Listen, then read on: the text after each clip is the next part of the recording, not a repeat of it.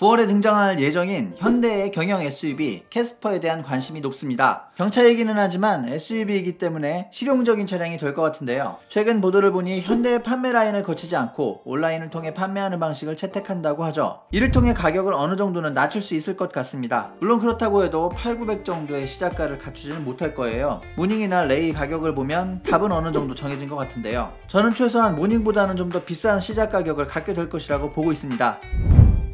자 그럼 캐스퍼에 대해 지금까지 나온 정보들을 한번 말씀드려 보도록 할게요. 캐스퍼는 전장 3595mm, 전폭 1595mm, 전고 1575mm의 사이즈를 가지게 될 것이라고 하는데요. 이 정도면 경차로 분류될 듯 합니다. 국내 시장에서는 3기통 1리터 터보 엔진이 들어간다고 하고요. 무단 변속기가 매칭될 것이라고 합니다. 터보가 올라가긴 하지만 출력은 좀 포기하는 대신에 연비를 높일 것이라는 이야기가 있습니다. 그리고 수출용에는 1.1리터, 1.2리터 엔진들이 올라가는 것 같습니다. 전면부에는 차체 위에 위에 커다란 원형의 헤드램프가 달리고요. 이 주변에 점등되는 링이 들어갑니다. 그리고 헤드램프 위쪽에도 램프가 있죠. 저는 처음에 이곳에서 DRL을 담당하고 동그란 부분이 헤드램프를 담당하는 분리형 레이아웃이 들어가는 줄 알았는데요. 지금 보니까 헤드램프 주변의 링 부분이 DRL이고 상단의 램프가 turn signal인 것 같습니다. 측면부를 보면 A필러를 블랙 컬러로 마감할 것 같고요. 휠은 경차에 잘 어울리는 국화빵 스타일이 들어갑니다. 그리고 펜더 부분은 볼륨감을 좀 살려둔 것 같고 2열 도어 핸들을 유리 쪽으로 올려주는 스파크와 유사한 방식이 적용된 모습을 볼 수 있습니다. 이렇게 보니 two-door 느낌도 나고 귀엽기도 하고 나쁘지 않은 것 같아요. 그리고 2열 유리는 1열과 다르게 아랫부분이 살짝 올라와 있죠. 이로 인하여 약간 단차가 나는 느낌도 들어요. 또한 여기를 잘라놨어요. 아마 2열 유리를 다 내릴 수 있도록 하기 위해서 이런 조치들을 한 것 같습니다. 그리고 모닝이나 스파크보다는 낫겠지만 트렁크 공간이 그렇게 여유로울 것 같지는 않습니다. 뭐 이 부분은 경차다 보니까 어쩔 수 없는 부분 같아요. 후면부를 보면 전면부랑 거랑 비슷해 보이기 위해서 범퍼에 큰 원형 램프를 떡 박아놨습니다. 요새 현대차 디자인팀은 범퍼에 램프를 못 넣어서 안 달린 것 같습니다. 개인적으로는 마음에 들진 않네요. 상단의 제동등은 동글동글하면서도 옆으로 길게 펼쳐진 스타일입니다. 후면 유리는 좀 널찍하게 장착해 두어서 좀 시원해 보이는 느낌이 있어요.